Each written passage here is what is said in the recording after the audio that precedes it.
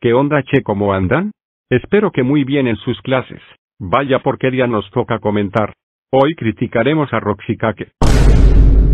Si eres fan de esta tipa, te recomiendo que no mires esta crítica. Pero si quieres ver esta crítica sos bienvenido. Eso sí, con unos cuidados para que no me estén matando tirando hate. El fin comencemos. Roxikake es una youtuber de Perú que actualmente tiene 500 millones de subs, así de rápido ¿verdad? El fin comencemos con su contenido.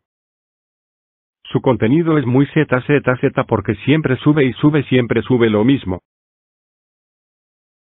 O sea, sube puros momentos divertidos que ni dan gracias, hasta los videos de Rodan 4561 están más bien editados. Este canal antes era lo mejor.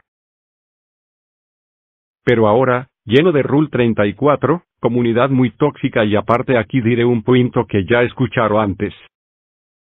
Creo. Y es que ella usa bots, así es usa bots sin que nadie de nosotros se dé cuenta. Pero hay gente que ya se dio cuenta, yo también me di cuenta. Y bueno, esto lo que diré es información sacado de Tito el Erizo. Saludos, crack.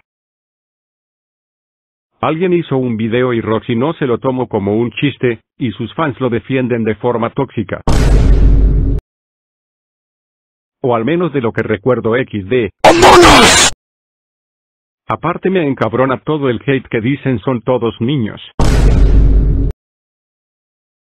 Esto es un mensaje para vos, Roxy. Yo también era vos. Yo ya estoy madurando no como tú.